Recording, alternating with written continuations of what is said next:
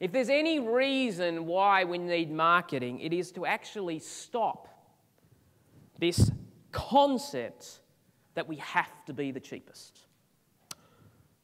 And, you know, if you're working in teams, there is sometimes a bit of a pressure placed on an order because the salespeople say, Boss, we're the most expensive. You don't have salespeople, you have order takers. We've actually got to turn them into problem solvers because they've got to show value before they make the withdrawal. Now, let's just say, and go to the next page. What would be the damage in my business of discounting prices? And let's just say you're the owner and you're probably working 80 hours a week. You're hitting it hard. You're not only working 40 hours a week in your business, there's all the other time that you have to do stuff on weekends. And when you get home at six o'clock, you have food, you have dinner, and then you know you don't watch the TV, you fire up the PC because you've got to do the accounts. You've got to do all the other stuff that you can get through today. So you're working 80 hours a week. This is a struggle. And then you come up with the idea, well, you know what we're going to do? We're going to just going to discount because you don't have a strong enough pipeline, you're going to be toey, cash flow is not coming.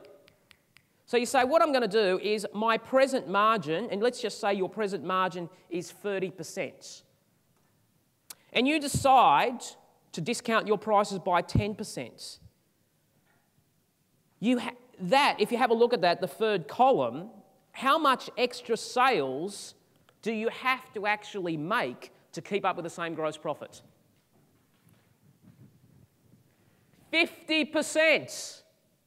I've actually got to grow my sales by another 50% just to keep up with the same gross profits. So you have now potentially, if you are the business, you have moved from 80 hours to 120 hours. Go, wow. Don't want to do that. And even just to fulfill those orders, you may actually have to in- increase your labour costs. So you're going backwards. The key is what would happen if I had the courage to, first of all, understand marketing is about value and had the courage to increase my prices after I had sold the sizzle. You've got to do your marketing before you increase the prices because people will buy value, and value is a perception, not a reality. Let's just say that I was able to increase my prices by a measly, measly 4% over one year, which is not impossible because the CPI rate is 4% anyway. And you should be increasing your prices every year because if you're not increasing your prices every year and the CPI rate's going at 4%, in real terms, you're going backwards. And let's just say you're able to do that. You, on the same thing, your sales could decrease by 12%.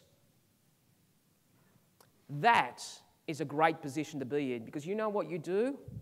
You get rid of your D class clients. Because remember, your business is there to serve you. It's not only having fun with your team members, it's having fun with your clients. Get to the point where you have a position where the D class clients, and this is not applicable to retail, because in a retail you can't put a barrier there saying you can't come into our store because you look like a D class client. But I would strongly suggest that if you are a service based business, you will know the horror of working with a pain in the backside customer. The one that never pays their bills, one that always wants a discount, and one that is extremely high maintenance to the point that every time the phone rings from them, you actually go into a cold sweat. You know what I'm talking about? There is nothing more glorious than going to that customer and said, guess what? We're not right for you. What I'd like to do is I'd like to assist you, and I've determined here is a list of other organisations that I think can better serve your needs. Now, if you're really smart, you would sell that lead to that competitor. Okay, okay, okay, okay.